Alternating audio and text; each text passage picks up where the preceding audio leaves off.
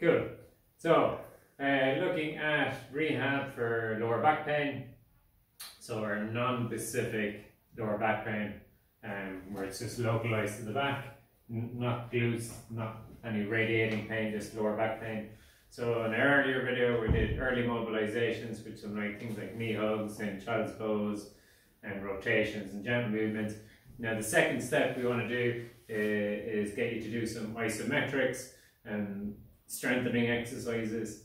So isometrics where the muscle isn't lengthening or shortening, it's contracting, but not lengthening and shortening. We'll go through that. So let's go to the floor first. So we're going to do what's called a pelvic reset um, to getting your quads, hip flexors and hamstrings going. So we've done this in an earlier video. Um, so you're going to push in, uh, so flexing the hip, pushing in towards the chest with that one and pushing away with the other one. And you're going to push five or more seconds. So if we aim for 10, we'll aim for five for the purpose of the video, but you can, I tend to do five to 10 seconds. So opposite movements, five, four, three, two, one, and then you change. And then you push again, five, four, three, two, one. So as I'm pushing down here, I'm getting my hamstrings working. As I'm pushing my knee towards my chest, I'm getting quads, kind of hip flexors working. And you repeat that for about 50 seconds to a minute. And then you do adduction, get a ball or um, pedal, and you squeeze together again, squeezing 5 to 10 seconds. And relax, again squeeze 5 to 10 seconds, relax, and then repeat that for about 50 seconds to a minute. You might hear a little clunk in your pelvis um, if it's if one side is more rotated than the other.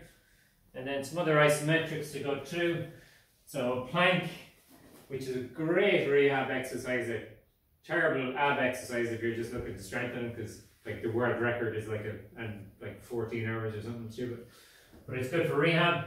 So into this position, onto your toes, and you want to drive your elbows towards your feet. Okay? So you're trying to isometrically contract and hold. And then side plank as well, again isometric, no lengthening or shortening. Um, then we can go into uh, to work the bum. And just coming up and holding, squeezing the bum. Keep your knees out slightly and you're rotating your feet, screwing your feet into the mat to really squeeze that bum.